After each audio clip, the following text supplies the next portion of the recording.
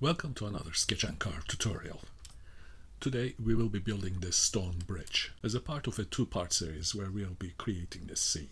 Let's start by pressing K to activate the add-on, select Smart Join, click blank start and give it a name. I will call mine Stone Bridge. Press OK to enter the new name and press enter to activate the add-on.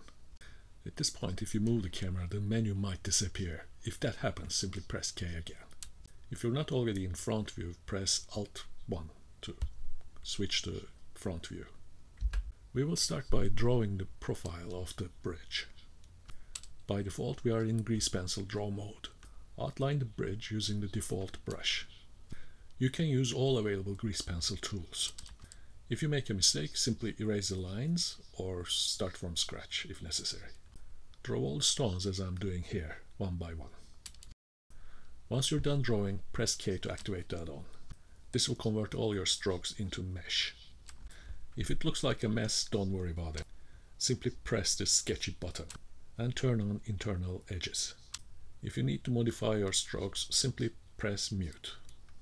Make the changes you need to make. In my case here, I forgot to draw some of the stones. And when you're done, click mute again. This will update the mesh with the changes you just made. By default, there is 0.1 Blender units extrusion is applied to your mesh. If your object is not solid, as in here, meaning it looks like it's made of two separate planes. Simply modify the simplification until you get a solid shape. Next, turn on Inset. Select Gap. This will create spaces between stones. Adjust the inset value to increase or decrease the gap space. Next, increase the extrusion until it looks like a solid stone wall. Let's also move the wall a bit to one side so that we can mirror it to the other side as well. If you find any pinching or bad geometry, you can fix it by simply adjusting the simplification. So far this looks good, so let's press K to set it. Next we will create the floor of the bridge. Press K again and click blank start. Give it a new name. I'm going to call mine stone pavement. Press OK when done. Make sure the canvas and the 3D cursor are at the center of the world. Press Alt numpad 7 for the top view. And just like last time, let's draw the floor stones. When you're finished drawing, press K. Adjust the placement of the stones if you like, although we will not be using this particular copy. Enable inset again. The last settings should be fine. Adjust the extrusion length to something sensible. When you're happy with it, press K to set it. Press V to switch to object mode and select the pavement. Move it to the side. We will not be using it directly. Select the original bridge again and press K to activate the add-on. Press Alt numpad 1 for the front view. Now the next stroke we will draw we will use it as a path. Switch to camera view. Draw a shape like so, loosely following the base of the bridge. Press K to generate the mesh and also reset the settings. Make sure to activate Smart Join. Click the button labeled Mesh and select the stone pavement object we just created. Activate Curve Deform, expand the options and select Stretch. This will fit the object perfectly on the deforming curve.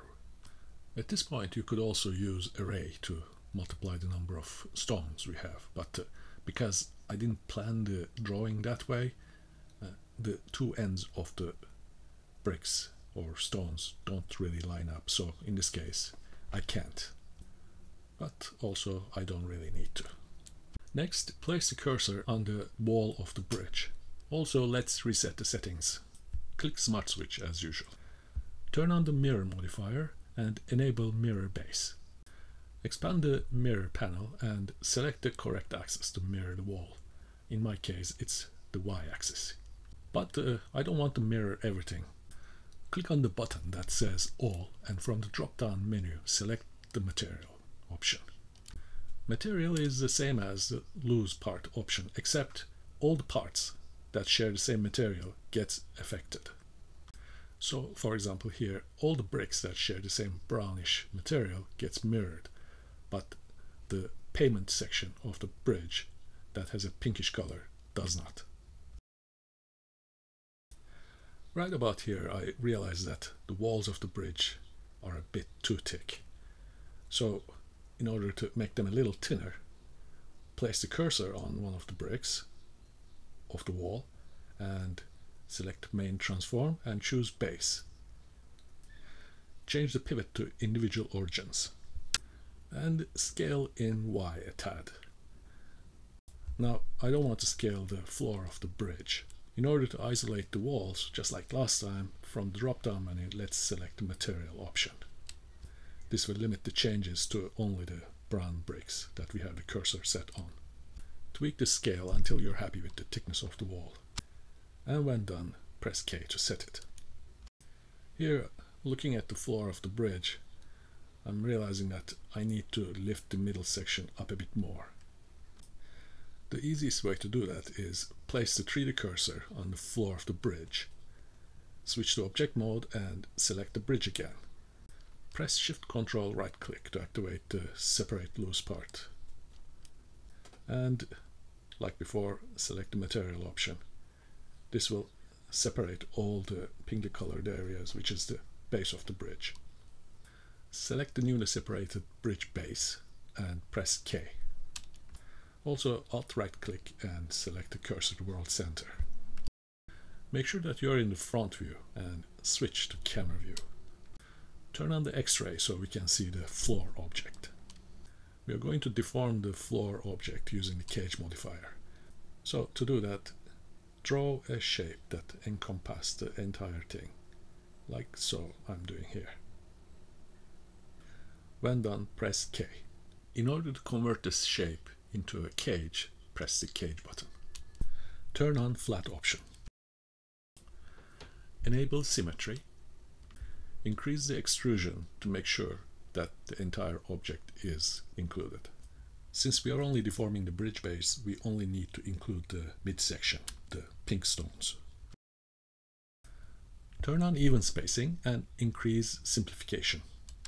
We only need enough geometry to deform the object. To activate the cage, press Bind. This will automatically put us into the object mode. Select the cage object and switch to edit mode. Turn on X-ray so we can also select the back-facing vertices. Select a few points, enable proportional editing and move the selected points up or down a bit to your liking uh, while adjusting the range using middle mouse button. When done, switch back to the object mode. Select the bridge floor object and press K and click apply cage. Now the changes we made are permanent. Press K again and let's start a new object. Name it bridge bottom. Then press OK to confirm the name. Press K again. Switch to camera view and reset the settings. And remember to enable smart join. Turn on X-ray again. Just like we did with the bridge floor, we are going to create the bottom side of the bridge. So let's draw a path shape just like this. Click Mesh button and choose Stone Pavement object we created at the beginning. Like before, activate Curve Deform, expand the options and select Stretch. If you need to make some adjustments to the placement of the stones, expand the Curve Transform menu and give it a little offset in the correct axis. In this case it happens to be Z-axis. When happy with the results, press K to set it. Switch to object mode and select the bridge floor object we created originally. Let's give these stones a bit more stone-like look. Press K and reset the settings and activate the Smart Join button. Enable the subdivision modifier and select base. Turn on crease and adjust the crease value a tad until you get a nice roundish shape. This naturally will shrink the stones a bit. In order to compensate that, turn on main transforms Select base and change the pivot to individual origins. In the scale section, click the chain icon to lock the proportions. This way we can control all three axes all at once. Increase the value a tad until all the stones are nicely tucked in together. Also increase the subdivision steps if needed. Again, when you're happy, press K to set it. Let's do the same with the bridge walls. Switch to object mode, select the main bridge object and press K.